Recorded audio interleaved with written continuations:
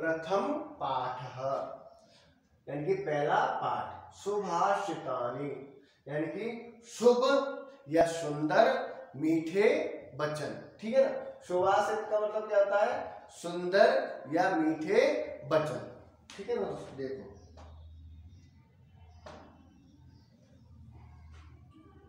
सुंदर या मीठे मीठे वचन ठीक है ना? ये अपने हो गया सुवासिक का मतलब। उसके बाद में देखते हैं पृथ्व्याम त्रीणि रत्नानि जल मंत्रम सुभाषितम यानी कि क्या है दोस्तों?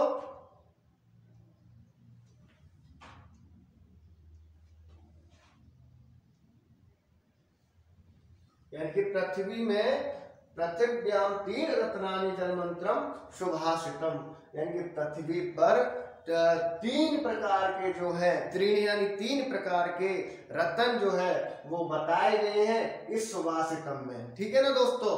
जल मंत्रम, यानी कि जल, थल और वायु। ठीक है ना? जल, अग्नि और वायु। ठीक है ना? मूढ़े पाषाण खंडेशु रत्न संज्ञा विधेयते। यानी कि मूढ़े यानी मूर्ख लोग। मूढ़े का क्या होता है? मूर्ख।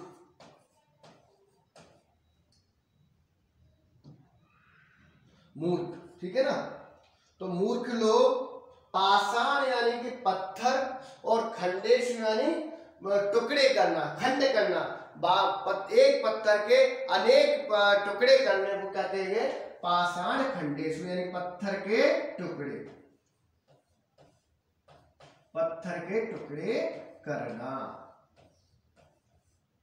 रत्न संज्ञा विधेयते। और रत्न यानी कि रत्नों पर उनकी नाम लिखते हैं। विधेयते यानी नाम लिखते हैं। जो मूर्ख लोग हैं, वो पत्थरों के टुकड़ों पर उनके नाम लिखते हैं। ठीक है सत्येन धार्यते पृथ्वी, सत्येन तपसे रवि। यानी कि सत्य को धारण करना और पृथ्वी सत्य तपते रवि। यानी पृथ्वी पर जो सत्य को धारण करता है, वो रवि की रोशनी से जैसे जलते हैं, उस प्रकार से उसमें जलता रहता है, उसमें तपता रहता है। ठीक है ना? जो इस पृथ्वी पर सत्य को धारण करता है, वो रवि की रोशनी की तरह जलता रहता है। ठीक है दोस्तों?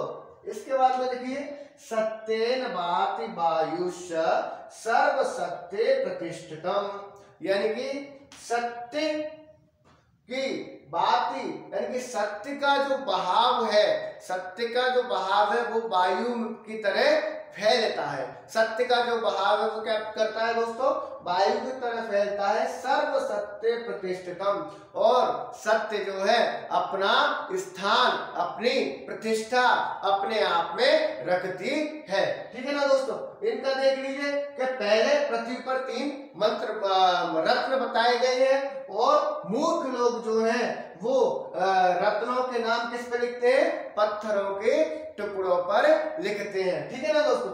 इसके बाद पृथ्वी पर जो सत्य को धारण करता है, वह सत्य रवि की तरह, रवि की तेज की तरह पृथ्वी पर तपता है और सत्यवादी वायुष्य और सत्य का जो है, सत्य जो है वो वायु की तरह विहार करती है या फैलती है और सत्य अपने आप में प्रतिष्ठित है, प्रतिष्ठावान है और सत्य हमेशा अपने आप में अपना स्थान रखती है। ठीक है ना दोस्तों? अब आगे देखते हैं। देखिए, दाने तपस्े शौर्य च, विज्ञाने विनये नये। विस्मयो नहीं कर्तव्यो, बहुरत्ना वसोधरा। यानी कि इसमें है दान, तप, शौर्य, यानी बल, विज्ञान और विनय।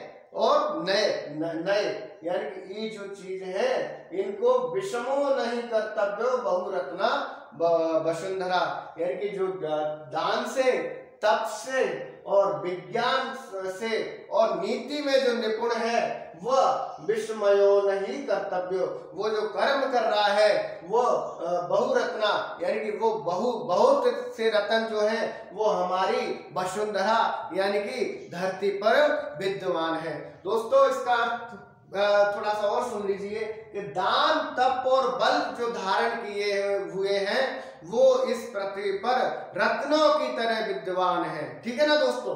अब इसके आगे देख लीजिए।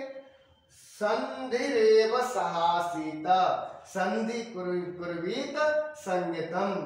सद विद्वार मैत्री च, न साधि किंचदा चलरेत। ठीक है ना? तो इसका देख लीजिए दोस्तों। जैसे सत्य रेव सत्य रेव मान के क्या होता है? सज्जन। सज्जन सहासित यानी साथ रहना सद्य कुर्वीत संगतम और हमेशा हमें सज्जनों की संगति करना चाहिए या सज्जनों के साथ रहना चाहिए। देखिए दोस्तों सत्यरेव का मतलब होता है सज्जन। सज्जन। ठीक है? उसके बाद साहसिक का अर्थ होता है साथ। ठीक है?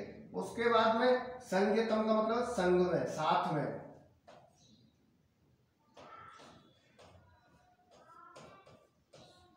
ठीक है ना?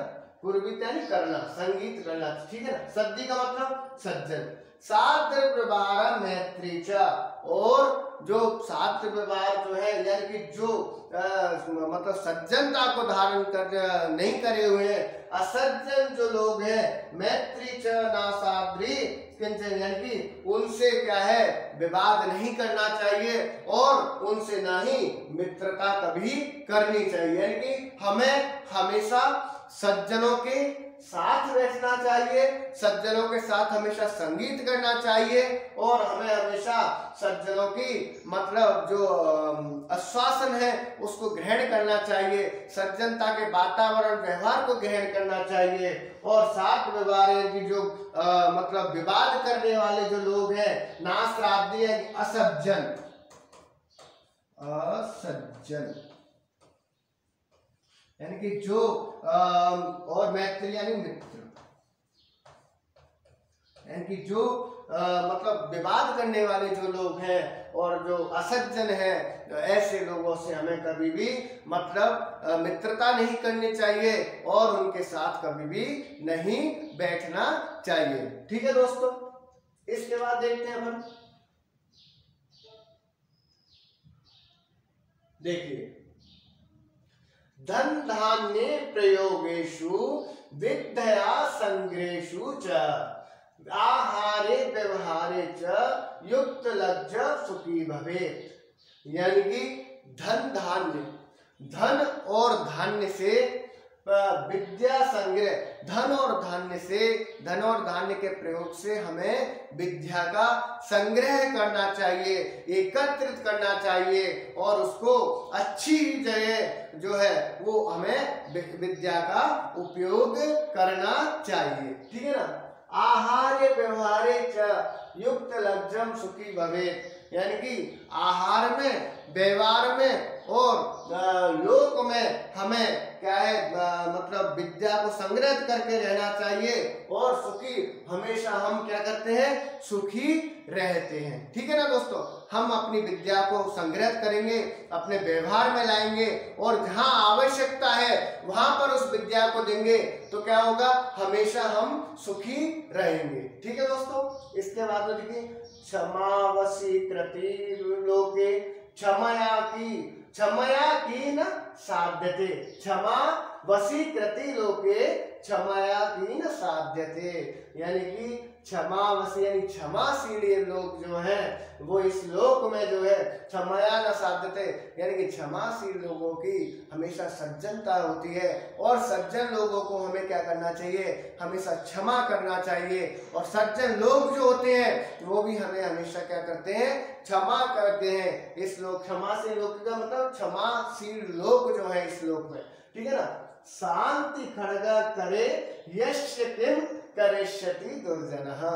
यानी कि शांति खड़गा का मतलब होता है शांति की तलवार।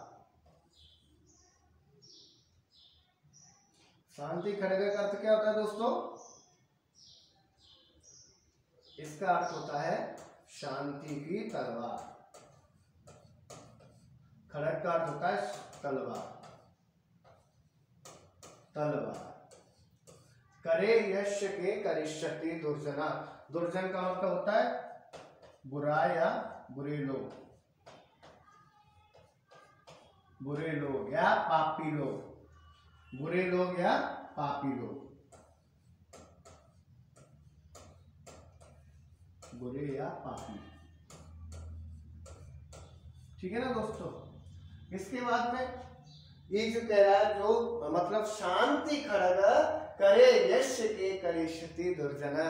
यानी कि शांति की तलवार को लेकर के और जो दुर्जन लोग हैं, उनको क्या बोलते हैं, उनका नाश करना चाहिए, उनका संज्ञा संहार करना चाहिए, और जो क्षमासीन जो लोग हैं, उनकी जो है जो सज्जन पुरुष हैं, उनका जो है आचरण जो है, वो अपने आप में उतारना चाहिए, उनकी बातों को अपने व्यवहार में लाना चाहिए, और दुर्जन लोगों को शांति की तलवार से, अपने रास्ते से हटा करके, और आगे बढ़ते रहना चाहिए। इस हमारे जो पाठ्य पुस्तक का जो पंचम पाठ, प्रथम जो पाठ था कक्षा सात का, वो हमने आज पढ़ा, जिसमें हमने दान, क्षमा यश, सत्य और असत्य और सज्जन, दुर्जन लोगों के बारे में पढ़ा और इसमें हमने पृथ्वी पर जो मूर्ख लोग हैं, रतन है है ना? और उसके बाद में जो आकाश, अग्नि, वायु, जल है, उनके बारे में जानकारी की कि इसमें हमें क्या कैसा करना चाहिए किस तरह का व्यवहार करना चाहिए कैसे लोगों के साथ रहना चाहिए और हमें आ, किस तरह से अपनी विद्या का संग्रहण करना चाहिए। तो दोस्तों आज हमारा जो पाठ था उसको हमें हम सबको मिल करके अपने व्यवहार में उतारना है और सज्जनता और सत्य को आगे बढ़ाते हुए हमें अपने लक्ष्य की ओर बढ़ना है। आज के लिए इतना ही धन्यवाद।